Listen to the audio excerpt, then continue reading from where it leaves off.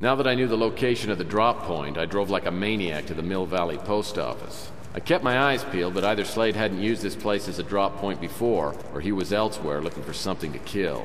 I didn't want to take any chances, though, so I hurried inside and found box 969. There were two items in the post office box a level 1 pass card for access into the Law and Order Party headquarters, and what had to be Slade's new orders. Unfortunately, I didn't have any way to decode them, not yet at any rate. I remembered that Sylvia had mentioned going out that night. Since I knew her name was on Slade's hit list, it might be a good idea to keep her under wraps for a while. I'm so sorry. I got so wrapped up in your story that I completely lost track of time. Well, I've been told I have that effect on women. Some sort of hypnotic power. Whatever you say, sweetie. I- But seriously, you know, we really have to hurry. It's not easy getting reservations at the Golden Pagoda. Well, as you know, I take the driving laws very seriously, so excessive speed is really out of the question. However, I know a shortcut.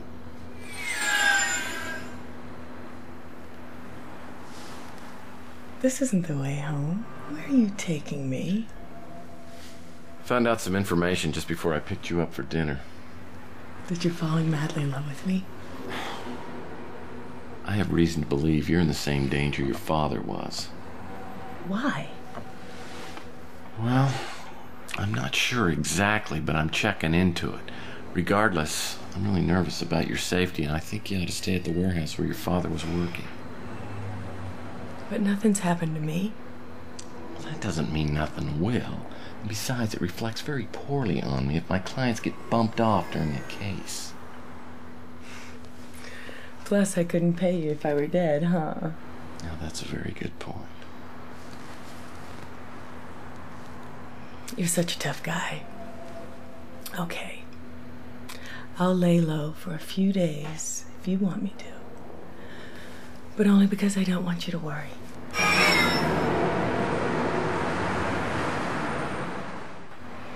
Ah, there's one. Hydrant. There's one. Handicapped. Actually, I think you could make a case for that one. Oh, that is very funny. Ah, right there, right in front of the restaurant. Okay. Told you.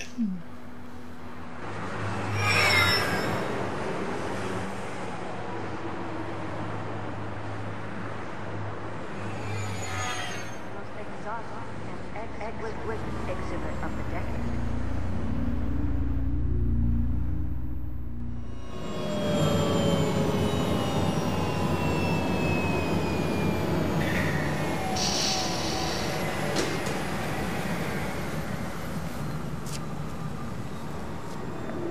Tex, tell me the rest of the story. Well, after I took Sylvia back to the warehouse, I decided to go over to the law and order party. Well, it was after midnight, so I figured nobody'd be around. I could ransack the place. Unfortunately, I was wrong.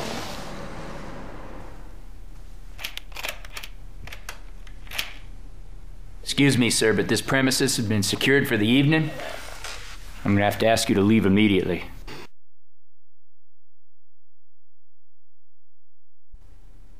Sheesh, I'm late again, aren't I? Missed the whole rally. Do you have any beer left? Okay, wise guy, get your hands up where I can see them. Come on, I'm just having a little moment with you, okay? Is that thing loaded? In my line of work, security is no laughing matter. Let's see some ID.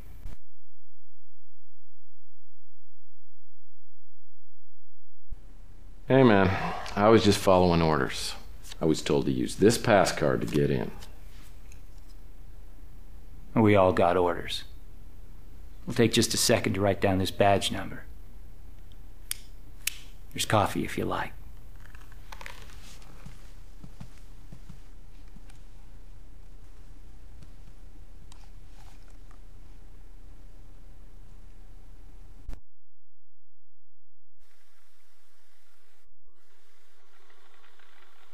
I have to admit, I can make a mean cup of coffee.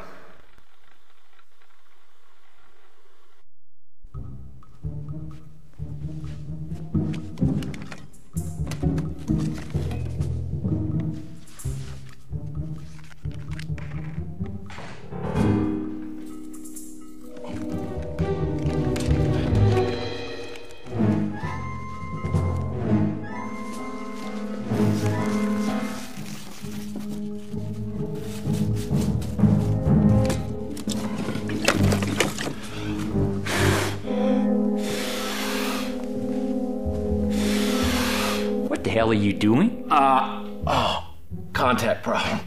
Got it on again, though.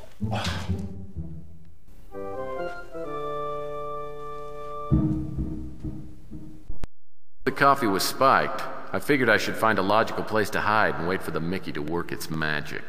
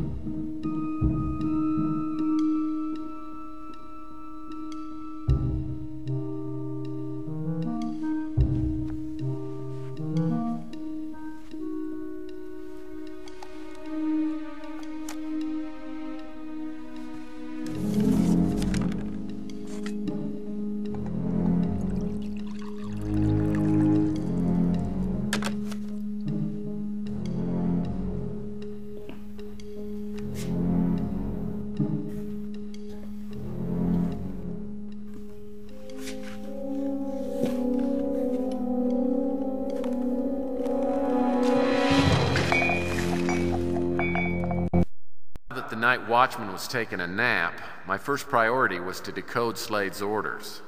I needed to find some kind of cipher with a lot of letters on it, and it had to be somewhere inside Law and Order.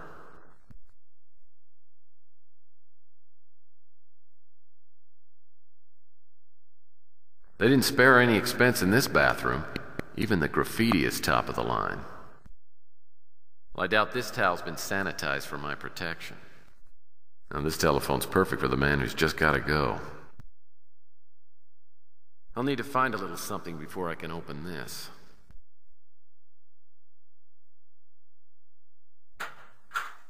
It's a piece of propaganda from your friends at Law and Order.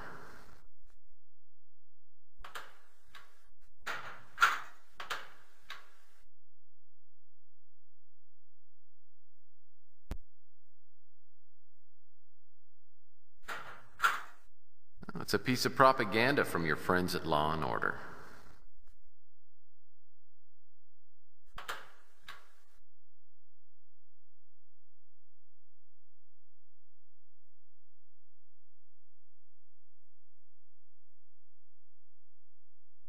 I guess Law and Order doesn't have any use for mirrors, seeing as how they're a bunch of vampires anyway.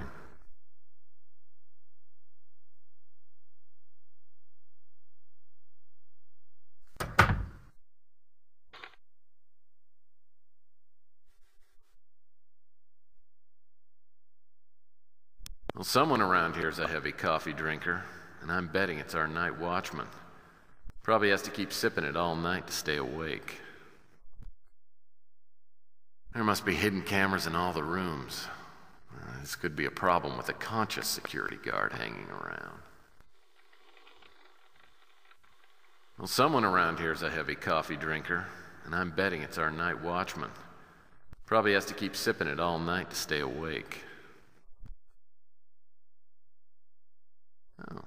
It's the ID badge I handed to the guard. A Law and Order ID badge. This was probably left here to give Slade access into party headquarters. Though I'm guessing it might work for me just as well.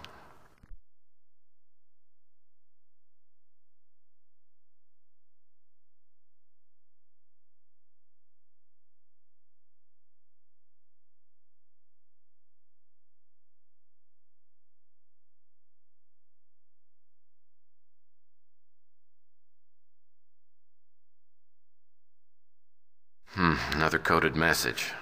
I've seen this tie before. I need to find a reference document and count the letters in it.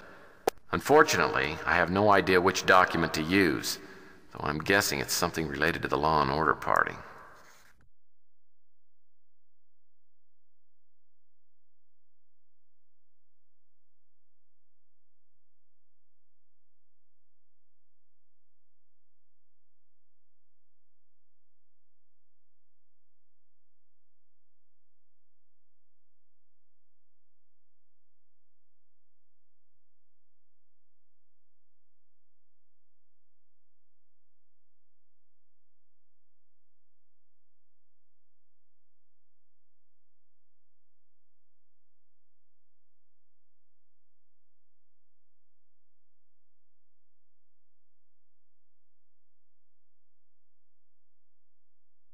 Well, I guess Robert Knott isn't behind the hit list. He's on top of it.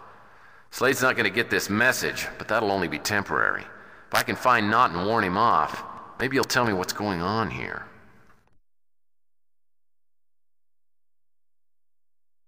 This door's locked.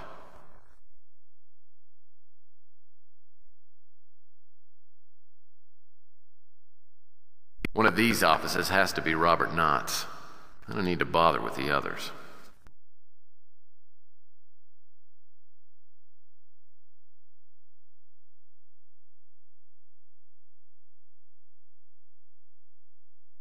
This door's locked.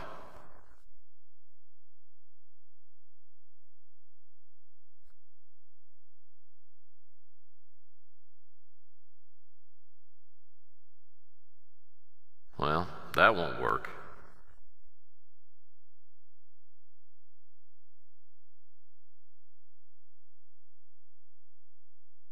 One of these offices has to be Robert Knott's. I don't need to bother with the others.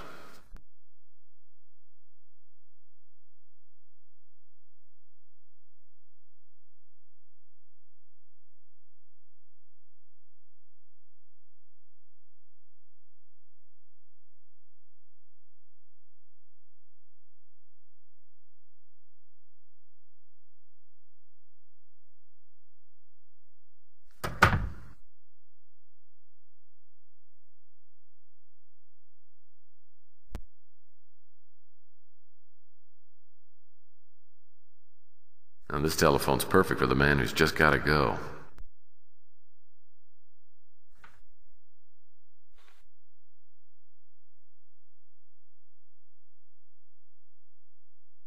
Oh, I don't think our friend here needs his keys for a while. At least until he's done with his nap.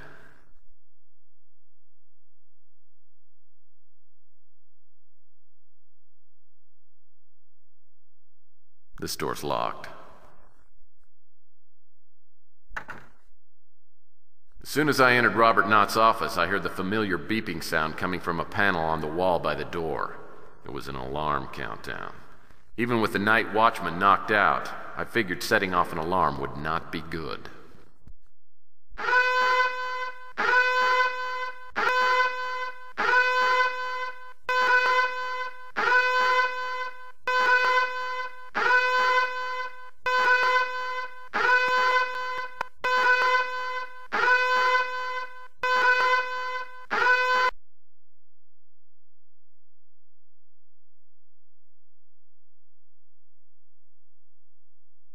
This lizard painting seems inconsistent with Knott's interior decorating motif.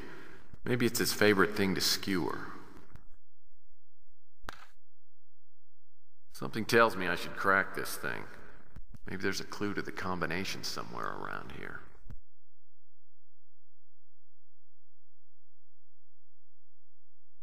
That key might be useful. Someday, I'll have a quality vid phone like this one.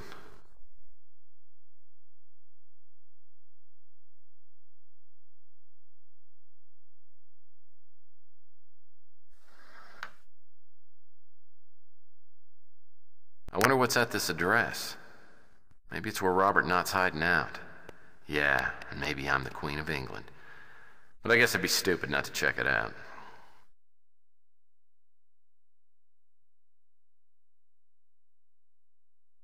These look like they just might open.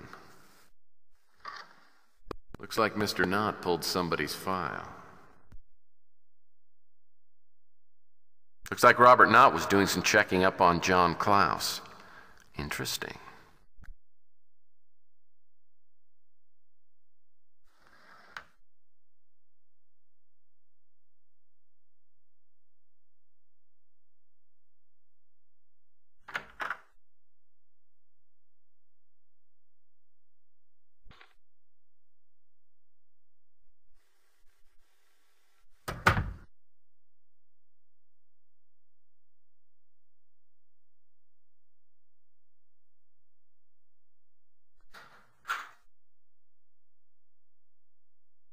This looks like the kind of index card I keep my Cajun recipes on. This doesn't look like any name I've seen in a Rolodex. Maybe it's a code. I guess I should play with it a bit.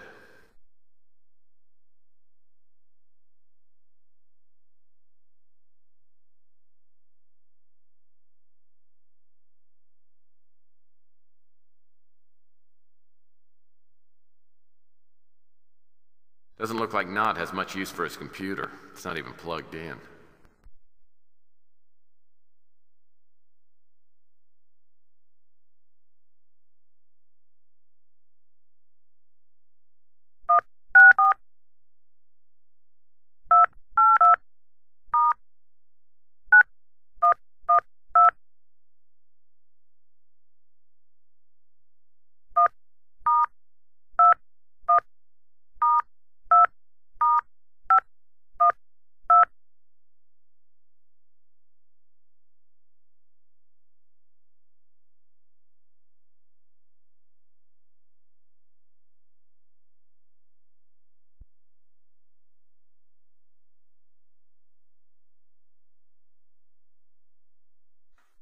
A CD.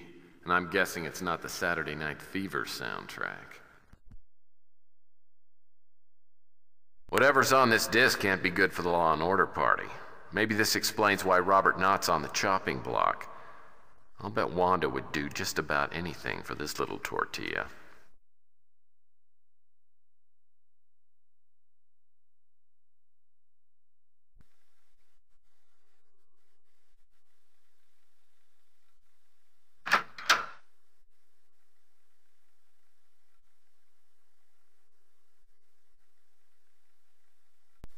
Mystery address turned out to be a seedy looking tavern on the waterfront.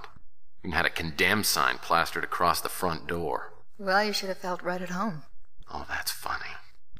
But what happened next wasn't. Despite a clear warning from my spider sense, I walked around back and found an open door.